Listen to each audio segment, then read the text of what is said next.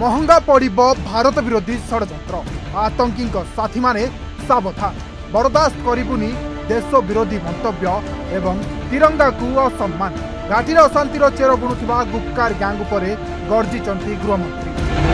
କେନ୍ଦ୍ର ଗୃହମନ୍ତ୍ରୀ ଅମିତ ଶାହ କହିଛନ୍ତି ଗୁପକାର ଗ୍ୟାଙ୍ଗ ବିଦେଶୀ ଶକ୍ତିଗୁଡ଼ିକୁ ଜାମ୍ମୁ କାଶ୍ମୀର ପ୍ରସଙ୍ଗରେ ହସ୍ତକ୍ଷେପ କରନ୍ତୁ ବୋଲି ଚାହୁଁଛନ୍ତି ଏହି ଗୁପକାର ଗ୍ୟାଙ୍ଗ ବାରମ୍ବାର ତିରଙ୍ଗାକୁ ଅପମାନିତ କରୁଛି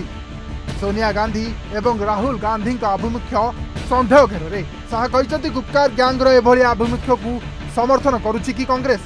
ଘାଟିରେ ଶାନ୍ତି ଫେରାଇବା ଦିଗରେ କ'ଣ ରହିଛି କଂଗ୍ରେସର ଆଭିମୁଖ୍ୟ କାଶ୍ମୀରକୁ ନେଇ କ'ଣ ରହିଛି ରାହୁଲ ଓ ସୋନିଆଙ୍କ ମତ ତାହା ଏବେ ପୁରା ଦେଶ ଜାଣିବାକୁ ଚାହୁଁଛି ଏଥିସହ କଂଗ୍ରେସ ଏବଂ ଗୁପ୍କାର ଗ୍ୟାଙ୍ଗ ଜାମ୍ମୁ କାଶ୍ମୀରକୁ ପୁଣି ଥରେ ଆତଙ୍କର ସେହି କଳା ଦିନକୁ ଫେରାଇ ନେବାକୁ ଚାହୁଁଛନ୍ତି ଏମାନେ ଦଳିତ ମହିଳା ଏବଂ ଆଦିବାସୀଙ୍କ ହକ୍ ଅଧିକାରକୁ ଛଡ଼ାଇ ନେବାକୁ ଚାହୁଁଛନ୍ତି ଏଥିପାଇଁ ଦେଶବାସୀ ଏମାନଙ୍କୁ ପ୍ରତ୍ୟାଖ୍ୟାନ କରୁଛନ୍ତି ବୋଲି କେନ୍ଦ୍ର ଗୃହମନ୍ତ୍ରୀ ଅମିତ ଶାହା କହିଛନ୍ତି ଏହାସହ ଗୃହମନ୍ତ୍ରୀ ଅମିତ ଶାହା ଟ୍ୱିଟ୍ କରି ଏହି ଗ୍ୟାଙ୍ଗକୁ ଚେତାବନୀ ଦେଇ ଲେଖିଛନ୍ତି ଯେ ଜମ୍ମୁ କାଶ୍ମୀର ଭାରତର ଅଭିନ୍ନ ଅଙ୍ଗ ଏବଂ ଜାତୀୟ ହିତ ବିରୋଧରେ କାମ କରୁଥିବା ଏହି ଅସାଧୁ ଗ୍ଲୋବାଲ ଗଠବନ୍ଧନକୁ ଦେଶବାସୀ କେବେ ବି ସ୍ୱୀକାର କରିବେ ନାହିଁ ब्यूरो रिपोर्ट अर्गस न्यूज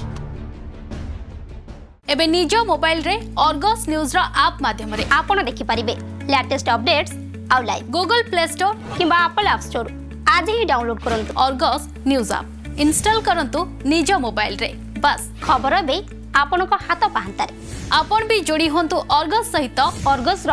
ନୂଆ ଆପ୍ରେ ସତ୍ୟର ସନ୍ଧାନରେ ଅର୍ଗସ୍ ସବୁବେଳେ ଲୋକଙ୍କ ସାଥିରେ